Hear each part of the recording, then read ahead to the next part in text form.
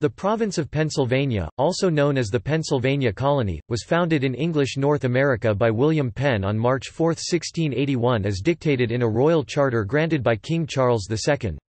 The name Pennsylvania, which translates roughly as Penn's Woods, was created by combining the Penn surname in honor of William's father, Admiral Sir William Penn with the Latin word Sylvania, meaning forest land. The province of Pennsylvania was one of the two major restoration colonies, the other being the province of Carolina.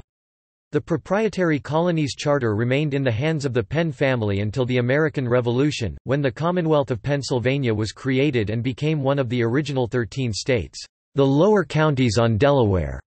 A separate colony within the province, would break away during the American Revolution as the Delaware State, and also be one of the original thirteen states. Topic: Government.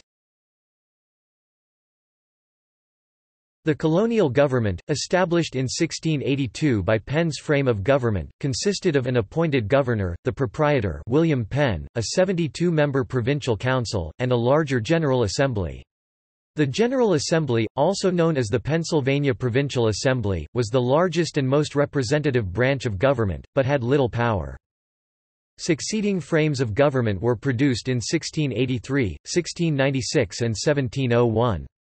The fourth frame was also known as the Charter of Privileges and remained in effect until the American Revolution. At that time, the Provincial Assembly was deemed too moderate by the revolutionaries, who ignored the Assembly and held a convention which produced the Constitution of 1776 for the newly established Commonwealth, creating a new General Assembly in the process. William Penn, the 14th of October 1644 to the 30th of July 1718, was an English real estate entrepreneur, philosopher, early Quaker and founder of the province of Pennsylvania, the English North American colony and the future Commonwealth of Pennsylvania. He was an early advocate of democracy and religious freedom, notable for his good relations and successful treaties with the Lenape Indians.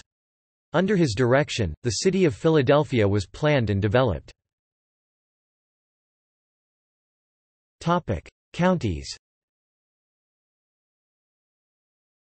Penn, despite having the land grant from the king, embarked on an effort to purchase the lands from Native Americans.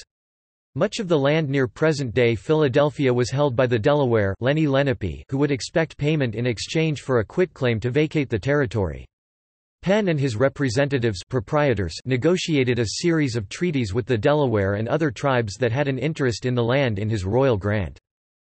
The initial treaties were conducted between 1682 and 1684 for tracts between New Jersey and the former Swedish, Dutch colonies in present-day Delaware.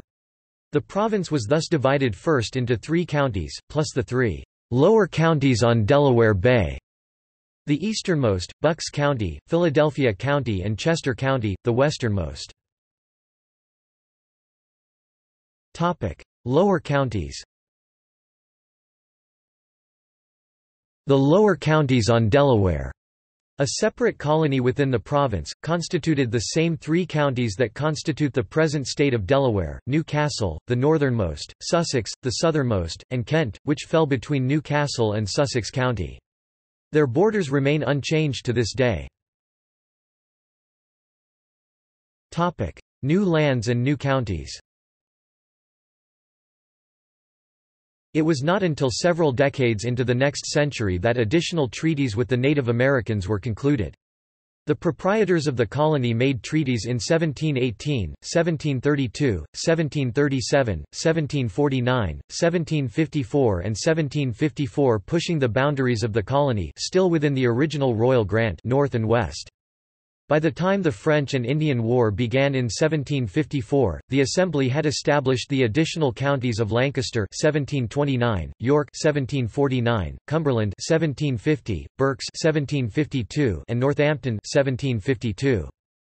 After the war was concluded, an additional treaty was made in 1768, that abided by the limits of the Royal Proclamation of 1763. This proclamation line was not intended to be a permanent boundary between the colonists and Native American lands, but rather a temporary boundary which could be extended further west in an orderly manner but only by the royal government and not private individuals such as the proprietors. This effectively altered the original royal land grant to Penn. The next acquisitions by Pennsylvania were to take place as an independent commonwealth or state and no longer as a colony. The Assembly established additional counties from the land prior to the War for American Independence. These counties were Bedford 1771, Northumberland 1772, and Westmoreland 1773. Topic: Religious freedom and prosperity. William Penn and his fellow Quakers heavily imprinted their religious values on the early Pennsylvanian government. The Charter of Privileges extended religious freedom to all monotheists and government was initially open to all Christians.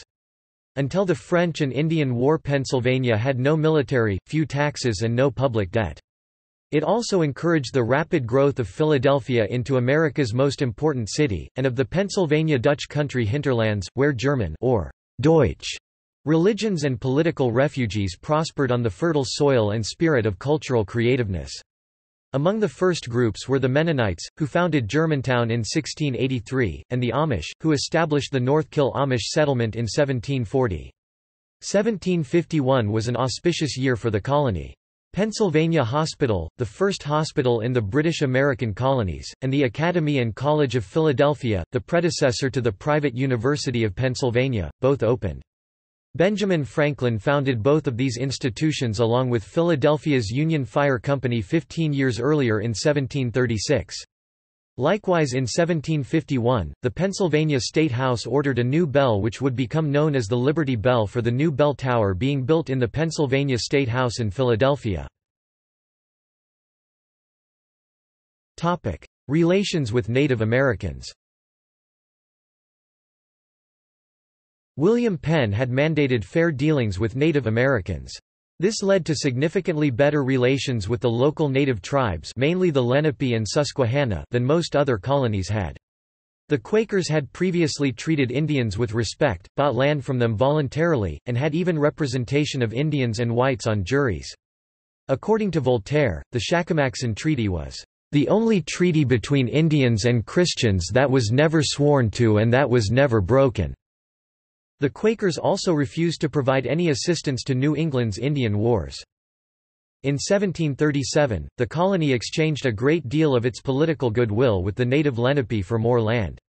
The colonial administrators claimed that they had a deed dating to the 1680s in which the Lenape Delaware had promised to sell a portion of land beginning between the junction of the Delaware River and Lehigh River present Easton, Pennsylvania, as far west as a man could walk in a day and a half. This purchase has become known as the walking purchase. Although the document was most likely a forgery, the Lenape did not realize that. Provincial Secretary James Logan set in motion a plan that would grab as much land as they could possibly get and hired the three fastest runners in the colony to run out the purchase on a trail which had been cleared by other members of the colony beforehand. The pace was so intense that only one runner actually completed the walk covering an astonishing 70 miles 110 kilometers. This netted the Penns 1,200,000 acres 4,900 square kilometers of land in what is now northeastern Pennsylvania, an area roughly equivalent to the size of the state of Rhode Island in the purchase. The area of the purchase covers all or part of what are now Pike, Monroe, Carbon, Schuylkill, Northampton, Lehigh and Bucks counties. The Lenape tribe fought for the next 19 years to have the treaty annulled, but to no avail. The Lenape Delaware were forced into the Shamokin and Wyoming valleys, which were already overcrowded with other displaced tribes. Limits on further settlement As the colony grew, colonists and British military forces came into confrontation with natives in the western half of the state. Britain fought for control of the neighbouring Ohio country with France during the French and Indian War, and following the British victory the territory was formally ceded to them in 1763 and became part of the British Empire.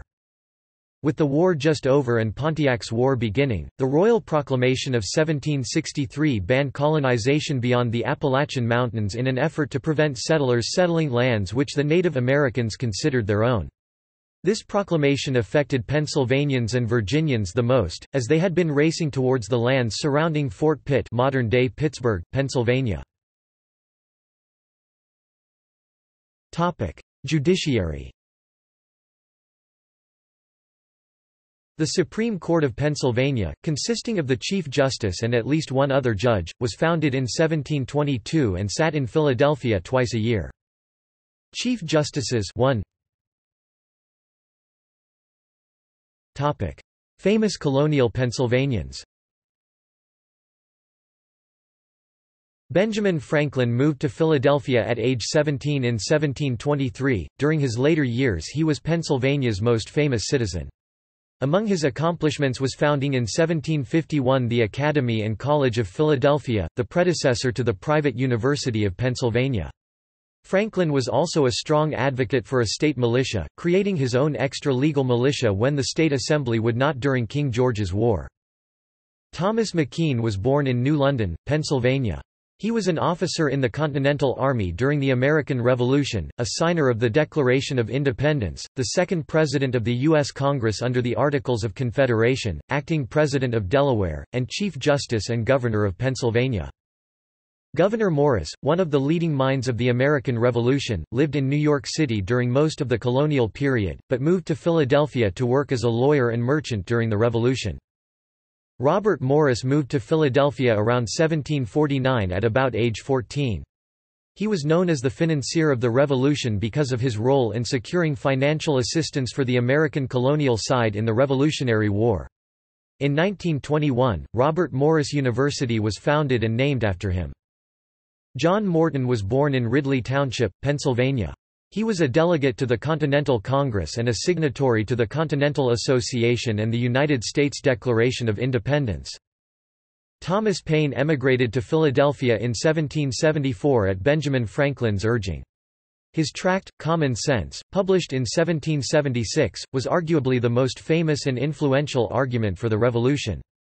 He was also the first to publicly champion the phrase United States of America. William Penn was the colony's founder and son of Naval Admiral Sir William Penn. George Ross was born in New Castle, Delaware and moved to Philadelphia to practice law. He was a delegate to the Continental Congress and a signatory to the Continental Association and the United States Declaration of Independence. Arthur St. Clair moved to Ligonier Valley, Pennsylvania in 1764. He served as a judge in colonial Pennsylvania, a general in the Continental Army, and a president under the Articles of Confederation. James Wilson moved to Philadelphia in 1765 and became a lawyer. He signed the Declaration of Independence and wrote or worked on many of the most difficult compromises in the U.S. Constitution, including the Three-Fifths Compromise, which defined slaves as three-fifths of a person for purposes of census-taking, number of members to be elected to U.S. House of Representatives, and government appropriations. Peggy Shippen was the daughter of prominent Philadelphia merchant Edward Shippen and wife of Benedict Arnold. See also Fort Augusta Fort de Pie Great Wagon Road Independence Hall, originally the Pennsylvania State House. List of colonial governors of Pennsylvania. Pennsylvania in the American Revolution. Restoration Colony. Walking Purchase. Welsh Tract. References Topic: Secondary sources. Illick Joseph E. Colonial Pennsylvania: A History, 1976. Pennsylvania Historical and Museum Commission, The Quaker Province. Topic: External links. William Penn, Preface to the Frame of Government of Pennsylvania, 1682. Members and Districts by Session, 1682–1775. Wilkes University Election Statistics Project Pennsylvania General Assembly, Pennsylvania Constitution